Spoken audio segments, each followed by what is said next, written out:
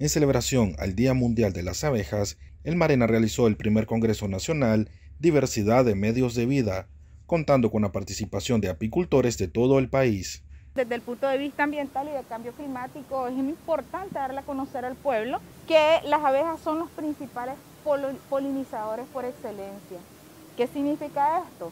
Que las abejas se hacen cargo, ¿verdad?, de llevar un polen al otro para que se pueda dar la fecundación de las plantas y que esto permite que tengamos frijoles, que tengamos frutas, que tengamos alimentos. Eh, a nivel mundial hay más de 20.000 especies distintas de abejas, ¿verdad?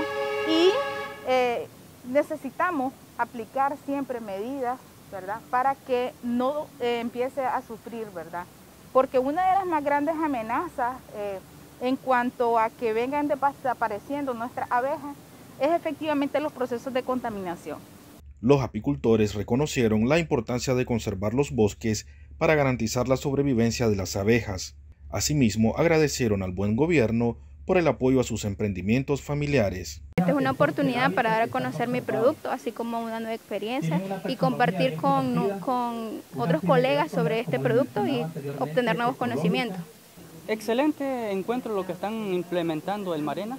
Uno, para dar nuestras experiencias, ofertar nuestros productos, un punto estratégico para darnos a conocer día a día. Eso nos beneficia porque nuestra marca continuamente va eh, empoderándose del mercado nacional. Durante el congreso realizado en Marena, hubo degustación de miel cultivada en armonía con la madre tierra. Oficina de Comunicación Marena.